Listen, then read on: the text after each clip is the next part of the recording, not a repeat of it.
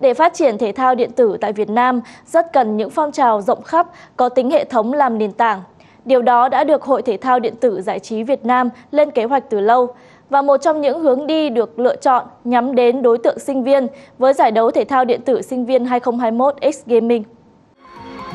Vừa rồi là một tình huống quá vội vàng của các thành viên team phố bỏ tình. Mẹ Kịp đã không? ở trên bản đồ rồi. Có lẽ là họ sẽ kịp đẩy cái trang trí này. Họ đang quật trụ,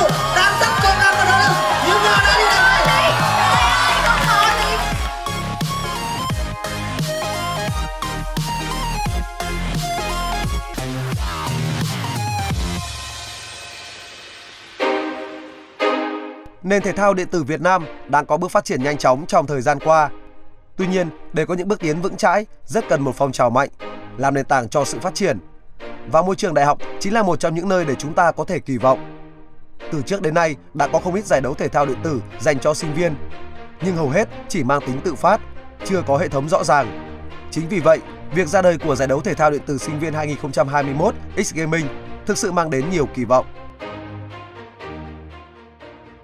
Bất cứ một cái môn thể thao nào ấy thì muốn nó phát triển ấy thì cũng phải đi lên từ một cái phong trào rất mạnh. Nó đến từ việc là những cái người chơi tham gia nó phải ở một cái số lượng lớn. À, các đơn vị tổ chức thì ngày nó càng phải chuyên nghiệp. Thế thì muốn như thế thì đòi hỏi là cái phong trào thi đấu ở tất cả bộ môn thể thao và nói chung và esports nói riêng ấy nó phải phát triển cái hệ thống phong trào lên. Thì chính vì lý do đó ấy, thì chúng tôi là lựa chọn cái đối tượng là sinh viên à, để tiếp cận à, để mà thúc đẩy cái phong trào thi đấu esports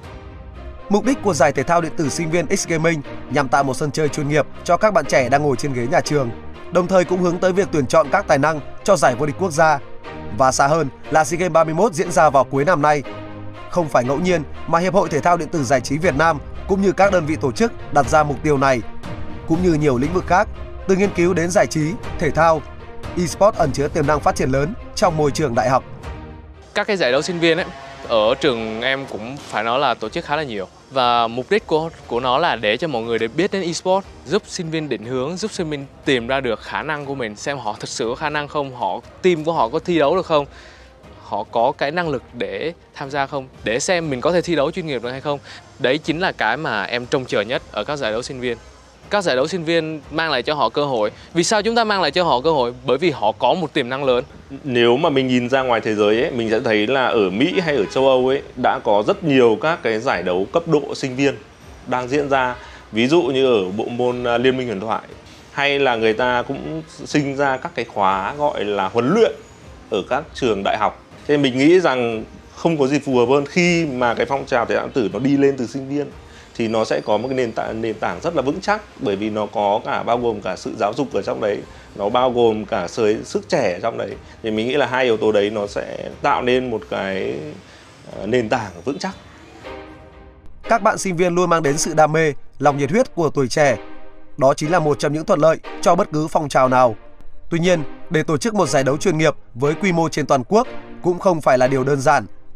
Vẫn còn đó những khó khăn mà những người tổ chức cần phải vượt qua khó khăn thì thường nó cũng khá là dễ thấy. Là ở chỗ làm giải đấu cho sinh viên ấy, thì thường các bạn ấy cũng cũng tham gia tư cách là chơi là một phần và cái tinh thần thể thao là một phần nữa. Thế nên là có những cái các bạn ấy chưa được chuyên nghiệp lắm, các bạn ấy cũng còn gặp, kiểu, vấn đề trong lúc mà đăng ký thi đấu rồi đến lúc mà thi đấu thì cũng phải liên hệ với các bạn ấy nhiều hơn một chút. Giải đấu của sinh viên thì đương nhiên là nó cũng dễ xảy ra vấn đề hơn bởi vì họ còn đang trẻ nên là nó có thể xảy ra xích mích có thể xảy ra tranh cãi và đôi khi có những cái màn nó trash talk nhưng mà nó đi hơi xa quá đấy cũng sẽ là một vấn đề mà chúng ta phải đưa vào cái phần rủi ro khi mà chúng ta tạo dựng lên một cái kế hoạch để xây dựng một giải đấu sinh viên Khó khăn là điều không thể tránh khỏi, đặc biệt với những giải đấu mới mẻ như thế này. Tuy nhiên, điều đó chắc chắn không khiến cho tâm huyết của những người làm thể thao điện tử tại Việt Nam bị ảnh hưởng. Bởi ai cũng nhìn thấy được sự thành công trước mắt. Nó không chỉ được thể hiện ở mặt chuyên môn hay sức hút lớn của giải đấu, mà còn có thể coi đây là một hướng đi mới, mang đến nhiều kỳ vọng cho phong trào thể thao điện tử. thực ra cái ờ, mảng esports này bọn mình có một cái kế hoạch dài hơi cho nó bắt đầu từ cái giải phong trào sinh viên này và sau này sẽ là thành một cái giải hệ thống giải thường niên từ phong trào mình sẽ có giải sinh viên sau đấy đến giải vô địch quốc gia và sau đấy là đến tuyển chọn các vận động viên đại diện Việt Nam để thi đấu các giải uh, quốc tế thì mình có thể thấy là có SEA Games, có Đại hội thể thao châu Á, Đại hội uh, thể thao võ thuật trong nhà uh, châu Á đấy. Thế thì bản chất để mà Việt Nam có được thành tích cao trong các giải đấu quốc tế đấy thì bọn mình nghĩ rằng là trước mắt mình phải xây dựng một cái phong trào thật mạnh đã và bọn mình đang lựa chọn đấy là sinh viên. Ở kỳ SEA Games 31 được tổ chức trên sân nhà, Việt Nam đã đưa 8 bộ môn của thể thao điện tử vào chương trình thi đấu. Quyết định này cho thấy kỳ vọng lớn lao của những người làm thể thao, cũng như người hâm mộ về sự thành công của eSports. Và hãy cùng hy vọng rằng trong số những gương mặt mang về vinh quang cho thể thao nước nhà, có những đại diện của thể thao điện tử sinh viên.